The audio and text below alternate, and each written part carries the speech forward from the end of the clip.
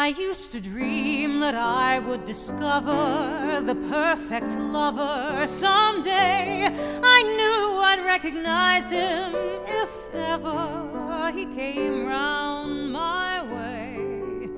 I always used to fancy then he'd be one of the godlike kind of men with a giant brain and a head like the heroes bold in the books I've read. But along came Bill, who's not the type at all. You'd meet him on the street and never notice him.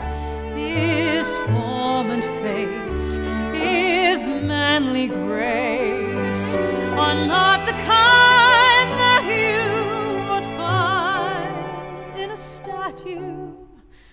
Oh, I can't explain. It's surely not his brain that makes me thrill. I love him because he's wonderful. Because he's just old Bill. He can't play golf or tennis or polo or sing a solo or row. He isn't half as handsome as dozens of men that I know. He isn't tall and straight and slim, and he dresses far worse than Ted or Jim.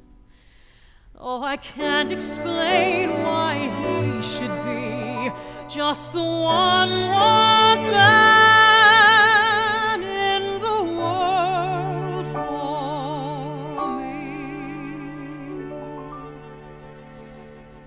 He's just my Bill, an ordinary guy. He hasn't got a thing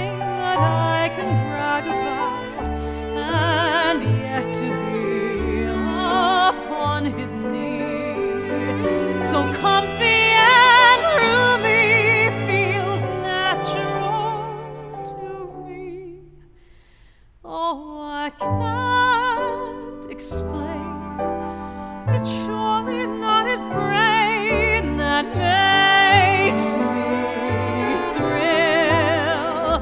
I love him because he's.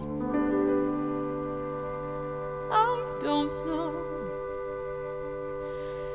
Because he's just.